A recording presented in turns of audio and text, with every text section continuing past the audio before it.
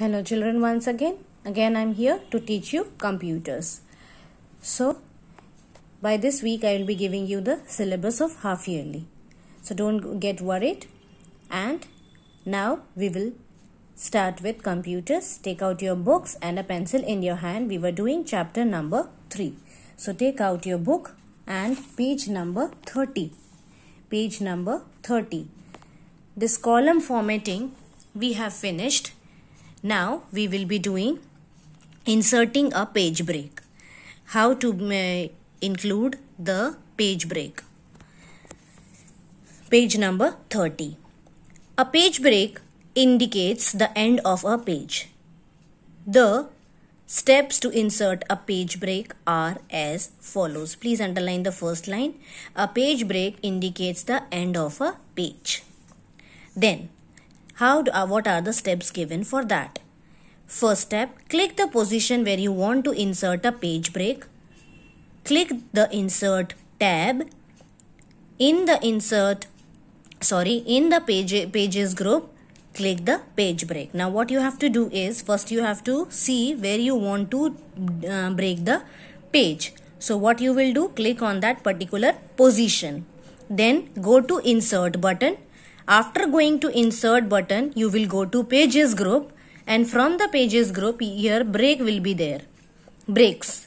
So with the down, uh, down arrow key, you will be seeing these kinds of things. Now, check the layout tab and move to page setup group and select the break option.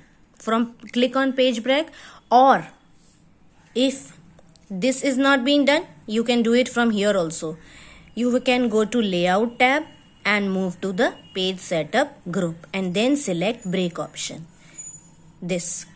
It will directly show you the break option. Where you will go to first? Again i'm repeating layout tab page setup and after page setup directly go to the break option. This and the downward arrow will be there. Drop down menu. That is called as the fourth step, a drop-down menu will appear. Select the desired option from the menu. See, you can see the drop-down menu and here it will be showing you all the different kinds of pages, how, how to do it or what you want to select. The effect will be applied to the text present in your document. What you have to do is you have to drop from the drop down menu. You will select any one from here and then that will be after selection that will be applied on the present document in your thing. So see page number 3 uh, sorry figure 3.11 here the options are given. You will select any one and it will be automatically uh, applied to your present document.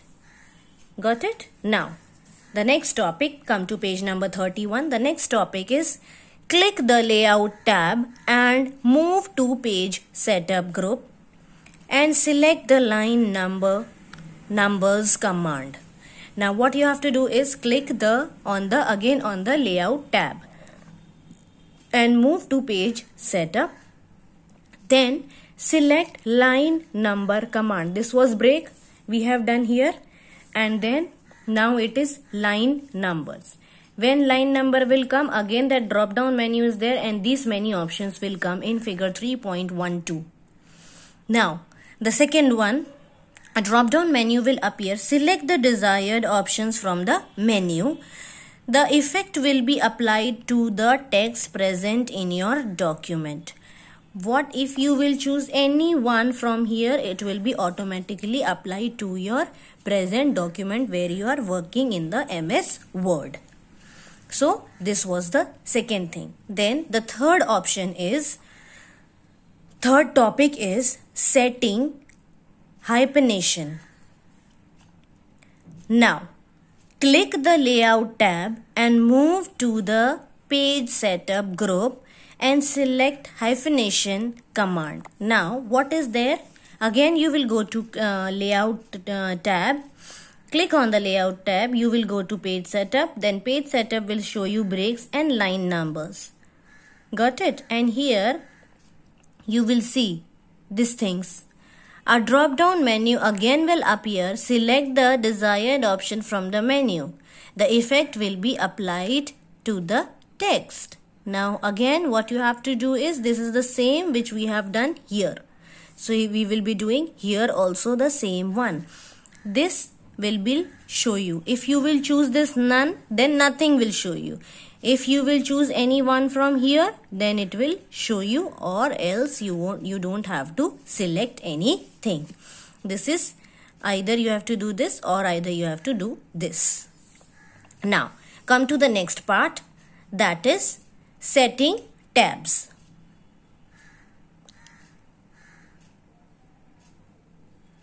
Tabs or tab stop uh, stops are used to control the alignment of text within a document. Underline this. Why tabs are used? Tabs or tab stops are used to stop the control to use to control the alignment of the text within a document. It is what doing? It is used to control the alignment of your particular document. Now, tabs are used to indent a single line of text. Each time you press the tab key, the cursor points advance, the next tab stops. There are five tabs sorry there are five types of tab stops now there are five kinds of tab stops are there different have different thing so the first one is it's an L. A left tab stops sets the start position of the text that will then run to the right as you type. So it is what this means the left tab. It will again what you will do it will be the it will help you to run the right as you type. The next one this is the opposite of t a center tab stop sets the middle position of the text this is like where you want to go in the middle the text centers or on this position as you are as your type. What you have to do is here, this is the center or the middle position of the text when you select this one. Now, the opposite of L. A right tab stop sets the right end of the text. Now, this was left, left tab stops. It was right tab stops. As you type the text, it will move to the left. The cursor will to move to the left. Here the cursor was moving to the right side and here it is in the middle one. Now, the opposite of T with a dot or a decimal in the maths we can say.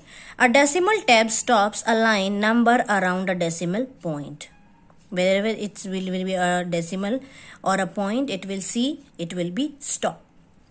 Then I, a bar tab inserts a vertical bar at the top at the tab position this is a vertical bar in the tab of the position so today we will be completing these uh, two topics that is inserting a page break and the setting of tabs. In inserting we have learned two things. So please revise this. Page number 30 and 31 till then thank you and have a nice day